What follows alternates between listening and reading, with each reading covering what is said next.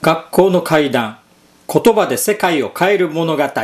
てね、虐げられた女子高生が自ら同じ境遇の仲間たちの地位向上を目指してね、その思いをそれこそ声に出して伝えることによってみんなの共感を得ながら学園の中で革命を起こす。幸せな高校生活を勝ち取るために。ね。うん。まあ確かにね、今世界のあちこちでもね、テロとか紛争っていった形で自分たちの目指すもののためにことを起こしている者はいるんだけど、でも、ただそれはやり方が間違ってる。どんな場合であっても他人を虐待する。そして命までをも奪うっていうことは決してすべきことではないし、認められるわけでもない。うん。まあ確かに世界の歴史においてもね、武力行使に及ばず、まさに言葉の力だけで虐げられているものを解放してきたっていうことがあるわけなんだから、そういう意味では、こういう時代にこそね、言葉で世界を変える物語っていうのは必要かも。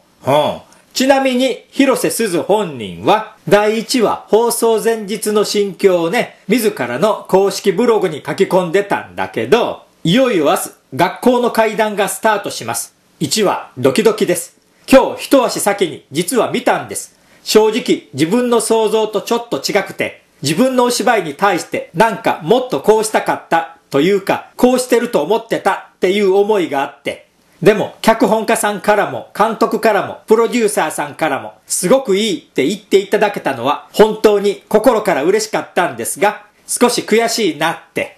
もちろんお芝居がすごいできるわけでもないのは分かってたんですが、それでも皆さんには見てほしいって思いました。私が演じる春菜つばめちゃんが伝えたいこと、このドラマが伝えたいこと、私が伝えたいこと、そのまま皆さんに届けばいいな。不器用な私ですが、最初見てつまんないって正直思ったとしても、最後まで見てほしい。前代未聞のスピーチ、一生懸命頑張りました。自分なりに全て届けました。同世代の俳優さん、女優さんがたくさんいる中で、なんで私を春菜つばめにしたのか、ものすごい考えました。答えはわかりませんでした。でも、たくさん話し合って、私が頑張りたいって気持ちに変わりはないのは間違いがなかった。だからみんなに負けないように頑張ろうって、生徒の方で見守るよって、一緒に頑張るよ、ついてくよって言ってくれる方がいて、幸せだなって今は感じています。とりあえず今日は自分の中でも偉大な作品になる第一歩を皆さんに見てもらう瞬間だったので正直な素直な気持ちを描いてみました。でもすごく面白いと思います。どんどん話が進むにつれさらに楽しくなっていきます。学校の階段よろしくお願いします。ふん、なるほどね。ブログでもしっかりと自分の気持ちを自分の言葉にできてる。うん。そういう意味でもね、広瀬すずを主演に抜擢したっていうのは間違いじゃなかった。ね。うん。で、さて、そんな学校の階段にはね、毎度おなじみのあの方からメールが、教頭か校長を演じた回数で言えば、ギネスブックに載るのではないか、と、生瀬勝久を見るたびに感じてしまう今日この頃、皆様いかがお過ごしでしょうか？何話のフォレストガンプです。学校の階段第1話、ごく普通の女の子が言葉を武器にステップアップしていくという展開はとても楽しみですね。となると毎回様々な言葉を巧みに使うスピーチの場面が登場してくることと思います。ならば学校の階段にちなんでスピーチの場面が登場する映画を紹介していこうと思います。まずは広瀬すずが演じる主人公同様スピーチなんて絶対にダメという人物が登場する映画といえば英国王のスピーチを思い出します。喫音症に苦しむ主人公、後のジョージ6世が言語療法士の指導を受けて訓練し、見事に克服していく姿を描いた2010年のイギリス映画です。アカデミー賞では作品賞をはじめ4部門を受賞しました。何せ英国王ですから、生徒会長以上に立場上スピーチせざるを得ないわけです。